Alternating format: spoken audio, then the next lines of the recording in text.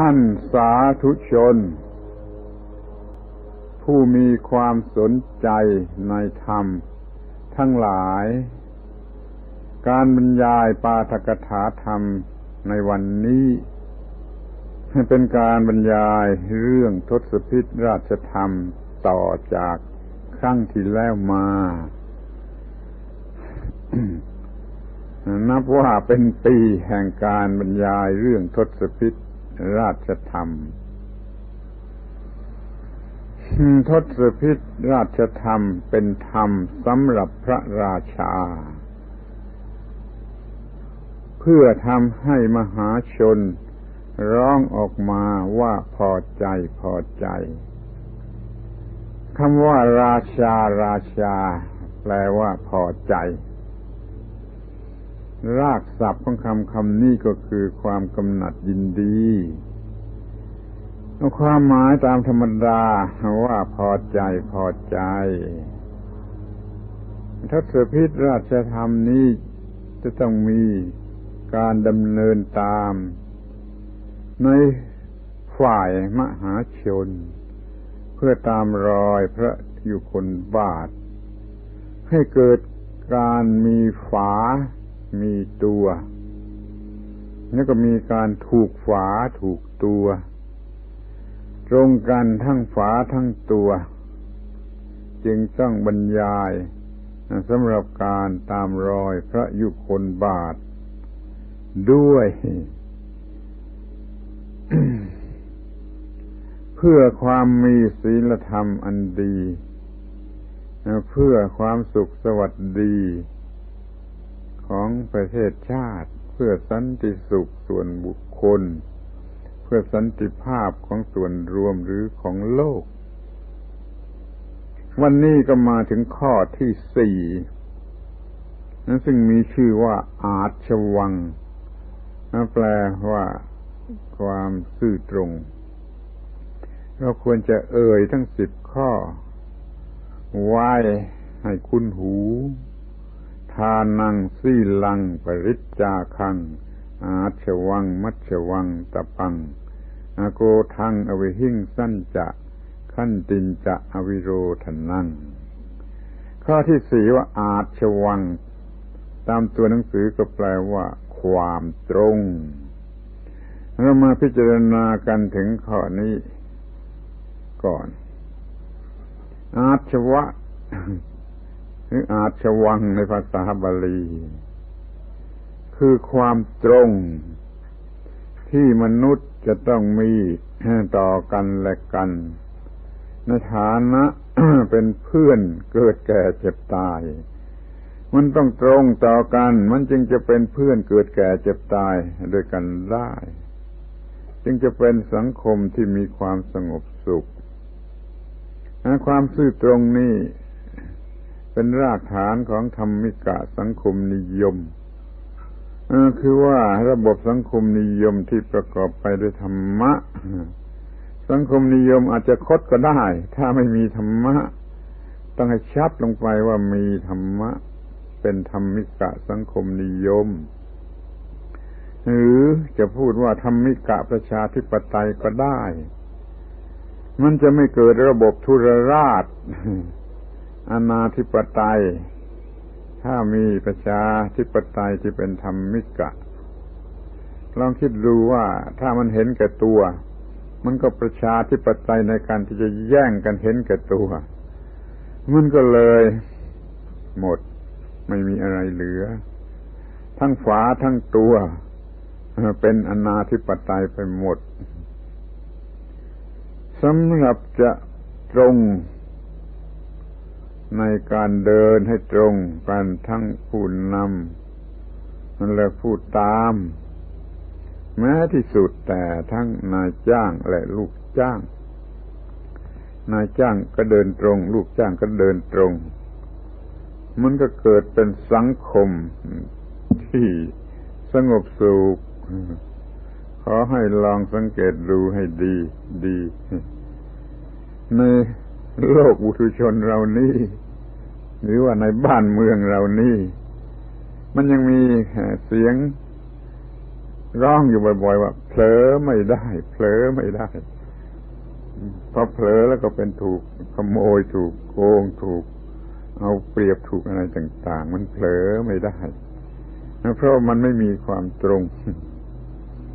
บางทีก็ได้ยินคำว่า ต่อหน้ามาพลับรับหลังตะโก ต่อหน้าก็พูดอย่างพอรับหลังก็ทำอีกอย่างหนึ่ง ต่อหน้ามาพลับรับหลังแตะโกนี่มันก็เคยเดือดร้อนกันมามากแล้ว ในการทำงานของผู้ที่ทำงานเป็นลูกจ้างหรือเป็นข้าราชการ มันก็มีคำที่กล่าวกันว่ามาอย่างไทย มาอย่างไทยไปอย่างฝรั่ง คือมาทำงานโอเอ ไม่เป็นเวลา พอถึงเลิกงานแล้วก็ตรงเพลงนี่เขาพูดกันอย่างล้อๆว่ามาอย่างไทยไปอย่างฝรั่ง ยังมีคำที่ได้ยินอยู่บ่อยๆในหนังสือเรียน ว่าแข็งดังเหล็ก เงินง้าง อ่อนได้ดังใจ อย่างนี้เป็นต้น มันแข็งโกกเนี่ยท่าทางมันเข้มแข็งแข็งโกกพอเอาเงินเข้าหวานล้อมมันก็เลยอ่อนเป็นขี้พึ่งไปเลยจะดัดเป็นอะไรก็ได้นี่เพราะว่ามันไม่มีความตรง มันไม่มีความตรง เราจะต้องมีความตรง อย่างบริสุทธิ์ใจ ตรงอย่างแท้จริง ตรงต่อ ธรรมชาติ ตรงต่อกฎของธรรมชาติ จะตรงกันสักกี่อย่างก็มาพูดกันจะเดี๋ยวนี้ต่อไปนี้ก็จะพูดถึงความตรงความตรง ว่ามีได้หลายอย่างหลายแง่ ที่ควรจะหยิบขึ้นมาพิจารณา เพื่อทำความเข้าใจกัน อย่างแรกที่สุดก็จะพูดถึงความตรงต่อวาจา วาจาที่พูดออกมา กับตนเอง ก็ต้องเป็นวาจาที่ตรงกับใจ อย่าให้เป็นวาจา อย่างใจอย่างนี่มันตรงต่อวาจาที่พูดเข้ามา ทีนี้ที่พูดออกไปวาจาที่พูดออกไปคือพูดกับผู้อื่น มันก็ต้องไม่คิดหลอกลวงใคร ตรงตามวาจาที่พูดเสมอไป อย่างนี้เรียกว่าตรงต่อวาจา หรือตรงโดยทางวาจา ทีนี้ก็มาถึงความตรง ตรงต่อผู้อื่น ไม่หลอกลวงใคร ไม่ขบฏหักหลังใคร แม้ในครอบครัวกันเองมีอยู่กี่คน ก็ล้วนแต่ซื่อตรงด้วยกันทั้งนั้น ซื่อตรงต่อวาจา ซื่อตรงในการกระทำซื่อตรงทั้งวาจา ซื่อตรงทั้งใจต่อผู้อื่น ภายในครอบครัว คิดดูเถอะว่ามันจะสงบเยือกเย็นสักเท่าไร ตรงต่อผู้อื่นในทิศทั้งหก เมื่อเป็นบุคคลที่สองออกไปจากเราแล้วก็เรียกว่าผู้อื่นหรือเรียกว่าสังคมได้ทั้งนั้นแหละทิศทั้งหกเนี่ยเป็นหลักที่ดี ที่ควรจะใช้ด้วยความระมัดระวังรักษาไว้อย่าให้มีความผิดพลาด ทิศข้างหน้าบิดามารดา ทิศข้างหลังบุตรภรรยา ทิศข้างซ้ายมิตรสหาย ทิศข้างขวาครูบาอาจารย์ ทิศข้างบนคือผู้บังคับบัญชาหรือผู้อยู่เนื้อขึ้นไปขึ้นไปตามลำดับทิศข้างล่างคือผู้อยู่ใต้บังคับบัญชาเป็นคนใช้กรรมกรต่ำลงไปตามลำดับเลยเป็นหกทิศถ้าได้หกทิศอย่างนี้แล้วก็ครบเรียก็ครบรอบด้าน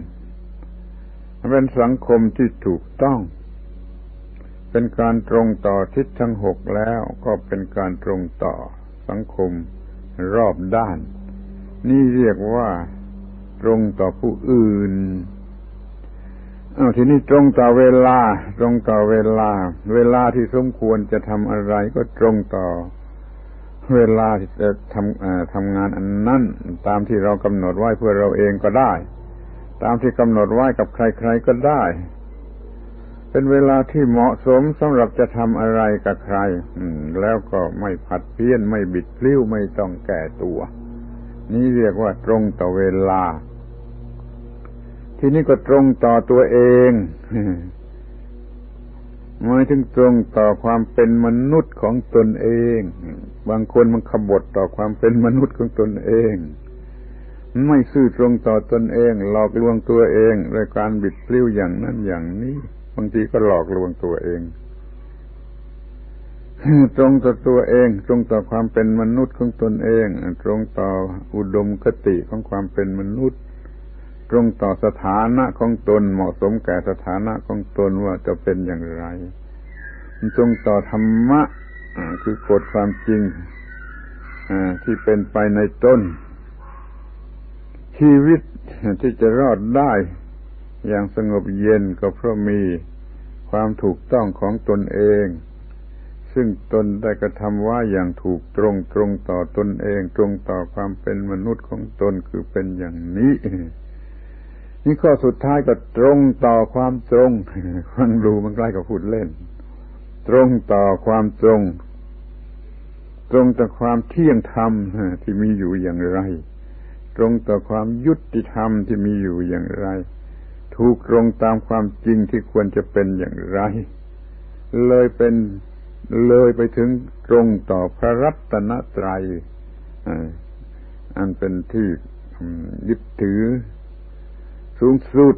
แล้วก็ตรงต่อโลกุตระคือว่าไม่อยากจะจมอยู่ในโลก จะขึ้นอยู่เหนือปัญหาของโลกโดยประการทั้งปวง กระทั่งตรงต่อพระนิพพาน อันเป็นที่เป็นที่ไปในเบื้องหน้าของชีวิตทุกชีวิต ตรงต่อความเป็นเช่นนั่นเองของธรรมชาติทั้งหลายทั้งปวงนี่เรียกว่าตรงต่อความตรงเป็นข้อสุดท้าย ตรงต่อวาจาตรงต่อผู้อื่น ตรงต่อการงาน ตรงต่อเวลา ตรงต่อตัวเอง ตรงต่อความตรง นี่แหละคือความตรงตรงมีกี่อย่างก็นับดูเอาทีนี้ก็ดูต่อไปถึงว่า กิจกรรม ในโลกนี่มันต้องการคนตรง มันต้องการคนตรงเราก็รู้ว่าโลกมีจุดศูนย์กลางของโลก เป็นจุดศูนย์ถ่วง เป็นความดึงดูดของโลกแล้วก็ตรงดิ่งเลยตรงดิ่งอย่างว่าของโยนขึ้นไปบนอากาศตกมาตรงดิ่ง ไปสู่จุดศูนย์ถ่วง ตรงกลางของโลก โลกเนี่ย มันต้องการ คนตรง กิจกรรมในโลกต้องการคนตรง ลองยกตัวอย่างทีละเรื่อง เช่นเรื่อง การเมืองก็ต้องการคนตรง มาเป็นนักการเมืองจัดโลกให้สงบผาสุขโดยไม่ต้องใช้อาจยา เดี๋ยวนี้เขาพูดกันว่า ผู้แทนสมัครเข้ามา บอกว่าจะมาควบคุมรัฐบาลให้ช่วยเลือกเถิด แต่ครั้นเข้ามาเป็นผู้แทนแล้วก็กลายเป็นว่ามาแย่งจะเป็นรัฐบาลซะเองอยากจะเข้าไปเป็นรัฐบาลซะเอง เมื่อแรกก็พูดว่าจะมาคุมรัฐบาลพอได้เป็นแล้ว ก็จะมาเป็นรัฐบาลหรือแย่งเป็นรัฐบาลซะเอง ตรงหรือไม่ตรงลองคิดดู ในแง่ข้างเศรษฐกิจสหกรณ์เศรษฐกิจ เราก็ต้องการคนตรงมาเป็นผู้ร่วมงาน เศรษฐกิจนั้นจึงจะไม่สร้างปัญหาขึ้น จะสื่อตรงต่อดมคติของเศรษฐกิจ แล้วก็ทำเพื่อสันติภาพของเพื่อนมนุษย์ การสหกรณ์ที่ล้มลุกลุกคลานตั้งไม่ได้นั่นนะเพราะว่าสมาชิกมันไม่ตรงมันไม่ตรงต่อกันสหกรณ์มันก็ล้มสหกรณ์มันตั้งไม่ได้ เพราะมันขาดความตรง ที่ในการสังคมซึ่งกันและกันการสังคมนี่ต้องการความตรงคือเราต้องการความไว้วางใจ ซึ่งกันและกันได้ยิ่งกว่าสิ่งใด ไม่มีความตรง มันก็ไว้ใจกันไม่ได้ มันก็มีแต่ความระแวง ในที่สุดก็นำไปสู่ ความขัดแย้ง มันก็เป็นสังคมที่เหมือนกับจมอยู่ในนรกทีนี้ในการ บังคับบัญชาหรือการนำหมู่คณะนั้นก็ต้องการคนตรง ผู้นำก็ตรงผู้ตามก็ตรง ถ้าผู้นำเดินตรง ผู้ตามก็ก็เดินตรง ผู้บังคับบัญชา บังคับมาตรงผู้ตามผู้ผู้ถูกบังคับบัญชาก็ทำตรง เกิดการตรงกันอย่างนี้ แต่ว่าคำว่าตรงตรงนี่มันก็ไม่ใช่คำพูดผ่าซากตายตัวบางทีเราก็ต้องให้มันตรงตามเรื่อง เฉพาะเฉพาะเรื่อง เช่นการใช้พระเดชพระคุณกันนี่ มาพิจารณาดูให้ดี ว่าถ้าใช้พระเดชต้องใช้ด้วยเมตตาถ้าใช้พระคุณต้องใช้ด้วยปัญญา อย่ากลับกันเสีย มันมันจึงจะถูกหรือตรงตามเรื่อง การใช้พระเดชใช้ด้วยเมตตา แต่โพธิการใช้พระคุณนั้นกลับต้องใช้ด้วยปัญญา มันจึงจะเป็นการบังคับบัญชาที่ตรง ทีนี้ในการเล่าเรียนศึกษาจะต้องซื่อตรงต่อทุกสิ่งที่เกี่ยวข้อง จะซื่อตรงต่อ ครูบาอาจารย์ ต่อสถานที่เล่าเรียนเวลาเรียนเพื่อนนักเรียน จะมีความซื่อตรงต่อทุกสิ่งที่มาเกี่ยวข้องการศึกษาเล่าเรียนจึงจะเป็นไปด้วยดีทีนี้การประพฤติพรหมจรรย์ของนักบวชของบรรพชิต มันต้องซื่อตรงต่อพรหมจรรย์คือซื่อตรงต่อพระนิพพาน มีพระนิพพานเป็นจุดหมายปลายทาง อย่างนี้ก็เรียกว่า ตรงต่อพระนิพพาน การประพฤติพรหมจรรย์ก็ต้องการความตรงตรงต่อวัตถุประสงค์ของการประพฤติพรหมจรรย์แม้ในที่สุดจะเล็งไปจะมองดูถึงความยั่งยืนแห่งวงศกุล หรือความยั่งยืนแห่งประเทศชาติ ก็ต้องการความตรง คือความกตัญญูต่อบรรพบุรุษ กตัญญูต่อบรรพบุรุษตลอดไปนั่นแหละ คือความตรง ที่จะเกิดความยั่งยืนแห่งวงศกุลและประเทศชาติ นี่จะเห็นได้ว่ากิจกรรมในโลกต้องการคนตรง กิจกรรมในโลกต้องการคนตรง กิจกรรมในโลกต้องการคนตรงขอให้สังเกตดู ทีนี้ก็จะพูดถึงอาการแห่งความตรงเป็นอย่างไร เส้นบรรทัดตรงอย่างไร สายธนูตรงอย่างไร ต้นไม้ที่อิสระขึ้นมาอย่างถูกต้อง งอกขึ้นมาอย่างถูกต้องจะเป็นต้นไม้ที่ตรงสูงสล่างงดงาม มีความตรงอย่างนี้ แสงอาทิตย์ก็ตรงคือส่องตรงไม่คด จุดศูนย์ถ่วงของโลกก็ตรงเส้นดิ่งของจุดศูนย์ถ่วงของโลกก็ตรงก็ไปสู่จุด ศูนย์กลางของโลกหรือสายโลกทั้งนั้นมันตรงอย่างนั้นไม่ว่าจะเป็นทิศทางไหน มันตรงทั้งนั้น มันตรงออกไปรอบตัว หรือมันเข้ามาได้รอบตัวล้วนแต่เป็นเส้นตรง แม้ที่สุดแต่เราจะนั่งสมาธิก็ต้องนั่งตัวให้ตรง รองรับจุดศูนย์ถ่วงด้วยดี นั่งตัวตรงนั่นหายใจคล่องนี่ก็ล้มยากไม่เป็นสมาธิแล้วก็ไม่ล้ม แล้วมันก็ดูงดงามด้วยเพราะความตรงอทีนี้ก็ตรงอย่างมีรากฐานอันมั่นคง ตรงนั้นต้องมีรากฐานอันมั่นคงเพื่อรักษาความตรงไว้ได้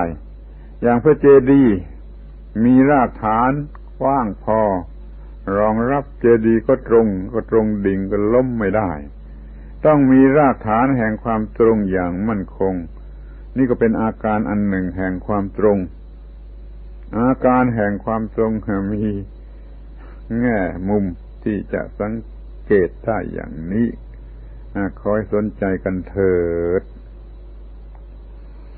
จะได้ทำให้เกิดความตรงได้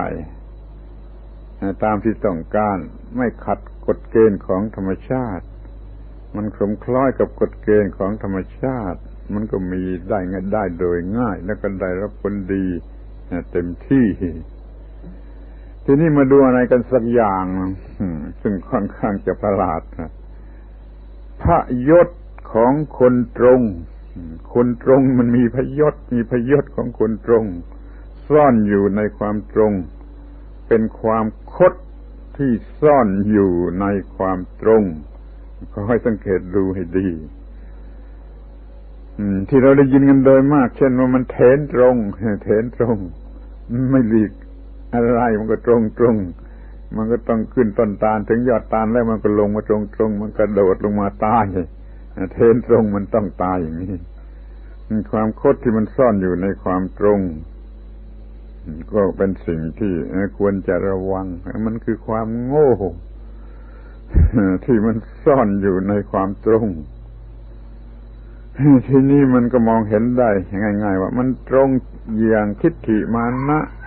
ตรงอย่างยึดมั่นถือมั่น ตรงอย่างหลับหูหลับตา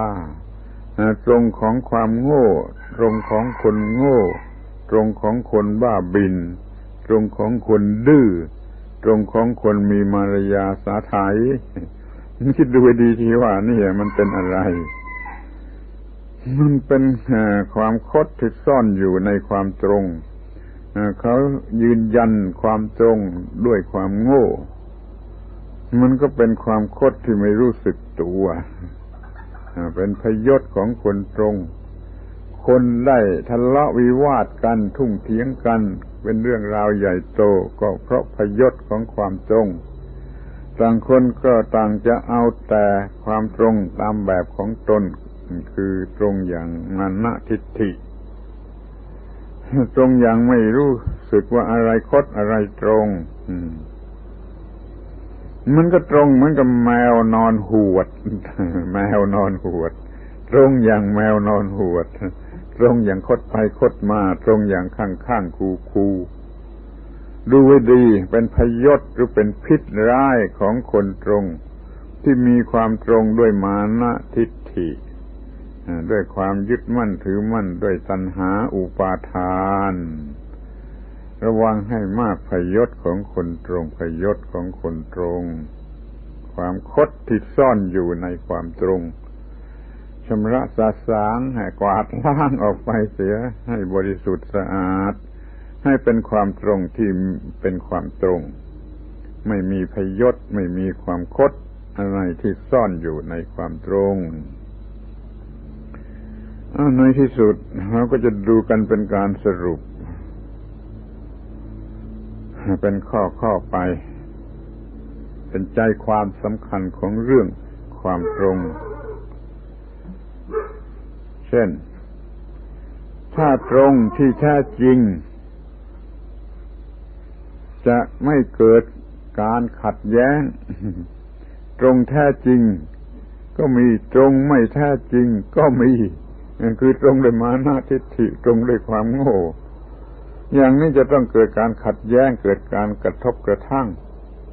ความขัดแย้งหรือกระทบกระทั่งนี่ในบาลีเรียกว่า อุปัตถวะ เรียกในภาษาไทยว่าอุบาท ที่ไหนมีการขัดแย้งที่นั่นมีอุบาท ในบุคคลก็ดีในสังคมก็ดี ในสภาก็ดีในอะไรก็ดี ถ้ามีความขัดแย้งแล้วก็จะต้องมีสิ่งที่เรียกว่าอุบาทไม่แง่ใดก็แง่หนึ่ง ไม่มุมใดก็มุมหนึ่ง ไม่ระดับใดก็ระดับหนึ่งความขัดแย้งนี่เป็นสิ่งที่ไม่ควรจะมี พระพุทธองค์สัตว์ว่าตถาคตไม่กล่าวคำขัดแย้งกับบุคคลใด ๆ ในโลกนี้ในเทวโลกในมารโลกในพรหมโลก ในหมู่สัตว์พร้อมทั้งสมณพราหมณ์มีแก่มีแต่การทำความเข้าใจ ไม่กล่าวคำเป็นเหตุให้ขัดแย้ง เพราะมันมีทางหลีกเลี่ยงได้ และมีทางที่จะทำความเข้าใจกันได้ ตรงที่แท้จริงนั้นจะไม่เกิดการขัดแย้ง เพราะฉะนั้นถือให้ตรงให้บริสุทธิ์แท้จริงไว้เถิดจะไม่มีการขัดแย้งทีนี้ก็ดูว่า ถ้าไม่ตรงไม่ตรงมันก็คดคดงองอเออมันก็ไม่มีวันที่จะถึงจุดหมาย มันคดไปคดมากลับไปกลับมา มันก็ไม่พุ่งไปสู่จุดหมาย ไม่มีวันที่จะได้รับความพอใจ เพราะว่ามันไม่ตรง มันไม่ออกไปตรงๆ มันก็ไม่ไปถึงจุดที่สุด หรือว่าอีกอย่างหนึ่งถ้าจะมองดูกันที่ตรงนี้ ถ้าไม่ตรง อ่า มันก็แนบกันไม่สนิท เอาไม้คดคดงองอสองอันมันแนบกัน มันก็แนบกันไม่สนิท ถ้าเอาไม้ตรงเกลี้ยงหาสองอันมันแนบกัน มันก็แนบกันสนิท มันก็เกิดสิ่งที่เราต้องการกันนักต้องการกันหนาคือสิ่งที่เรียกว่าความสามัคคีดังนั้นความสามัคคีมีรากฐานอยู่บนความตรง อยากมีสามัคคีที่ไหนขอให้มีความตรงกันที่นั่น ในส่วนตัวบุคคลก็ดี ในส่วนครอบครัวก็ดี หมู่บ้านก็ดี บ้านเมืองก็ดี ประเทศชาติก็ดีวันโลกก็ดี มันจะมีความรักสามัคคีแนบกันสนิทแล้วต้องตรง ถ้าไม่ตรงมันก็แนบกันไม่สนิท ยิ่งมีน้ำอยู่รอบตัวด้วยแล้ว มันยิ่งไม่มีทางจะแนบกันสนิท เราจงเพ่งดู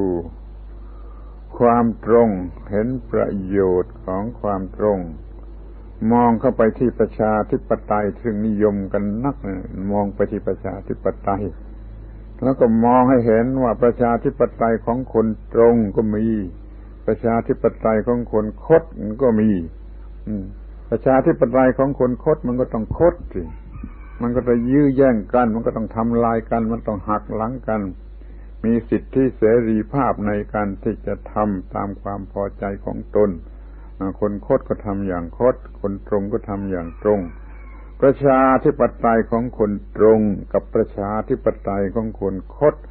นั้นมันจึงต่างกันมากมายนัก มากมายนักบางทีจะยิ่งกว่าฟ้าและดินบรรพชิตที่ไม่ซื่อตรง ต่อระบบพรหมจรรย์มันก็คือนายพรานที่หลอกลวง เนกัตตะว่าความหลอกลวงของนายพรานเขาต้องการเหยื่อก็ก็ต้องหลอกลวงก็ก็ต้องพรางตา มีอะไรที่เป็นเครื่องหลอกลวง บรรพชิตที่ไม่ตรงก็เป็นบรรพชิตที่เป็นนายพรานที่หลอกลวง พระพุทธเจ้าสัตตำหนิไว้มากมายเลือประมาณบรรพชิตที่ไม่ตรง เราจะต้องรักษา ความตรงในการเป็นบรรพชิตมีจริงมีตรง จึงจะเป็นพระพระอยู่ที่ตรงอยู่ที่จริงอ้าวทีนี้ข้อสุดท้ายความเป็นไทยมีได้ เพราะความตรงคือตรงต่อความเป็นไทย ถ้าไม่มุ่งหมายตรงต่อความเป็นไทย ความเป็นไทยมันก็มีไม่ได้ จะไทยไปอย่างไรได้ ถ้ามันไม่ตรง มันก็คดงอมันก็วกวนก็อ้อมค้อมก็ลดเลี้ยว มันเป็นไทยอยู่ไม่ได้ความตรงเท่านั้นที่จะรักษาความเป็นไทยไว้ได้ ตรงต่ออุดมคติของความเป็นไทย ตรงต่อคุณค่าของความเป็นไทย มันก็เป็นไทยอยู่ได้ ความตรงเท่านั้นที่จะทำให้อยู่เหนือปัญหาทั้งปวง ที่จะทำให้ออกมาจากปัญหาทั้งปวง ปัญหาอันไม่พึงปรารถนาใด ๆ เราจะออกมาเสียได้จากปัญหาเหล่านั้น หรือจะอยู่เหนือปัญหาเหล่านั้นได้ ก็เพราะความตรง ตรง ตรงขอให้สนใจในคำว่าความตรง ซึ่งเรียกเป็นภาษาบาลีว่า อาชวะ หรืออาชวัง เป็นทศพิธราชธรรม ข้อที่สี่ซึ่งจะต้องมีกันอย่างถูกฝาถูกตัวพระราชาในเบื้องบน แล้วก็มี ประชาชนหรือมหาชนก็ตามรอยพระยุคนบาทแล้วก็มี มันก็มีทั้งฝาทั้งตัวที่ถูกตรงต่อกันและกันสำเร็จเป็นความตรงโดยสมบูรณ์ดังนี้ ขอให้มีความตรงเป็นเครื่องยึด แล้วก็จะอยู่กันเป็นผาสุข ขอให้ความหวังอันนี้ เป็นที่หวังของท่านทั้งหลายในการที่จะเป็นคนตรงแล้ว มีความสุขอยู่ทุกทิพาราศีการเทิน